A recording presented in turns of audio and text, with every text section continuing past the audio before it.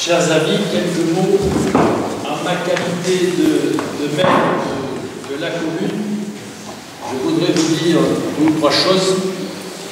La première, il y a deux ans, je vous avais dit que nous allions penser à restaurer cette église Sainte-Germaine.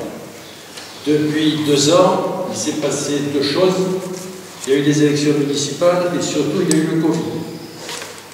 Donc euh, les élections municipales ont permis à la même municipalité pratiquement d'être réélue et le Covid nous a empêchés de travailler.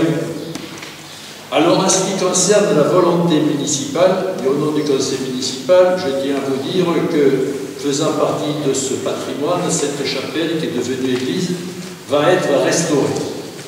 Mais pour cela, il faut, vous le comprenez, le Saint-Esprit peut-être, mais surtout de l'argent.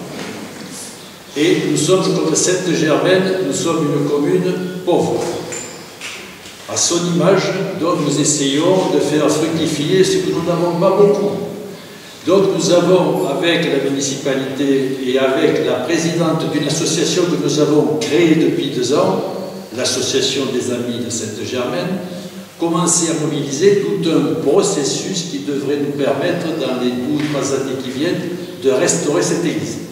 Donc on a tenu parole, on a commencé. Alors la présidente de cette association, c'est Gloria, que vous connaissez, tout le monde la connaît, et Gloria pourra vous faire distribuer ce petit livre qui a été réalisé. Vous pouvez le lui demander, elle vous en donnera. Et bien entendu, à la fin de ce petit livre, on vous explique comment il faut donner de l'argent.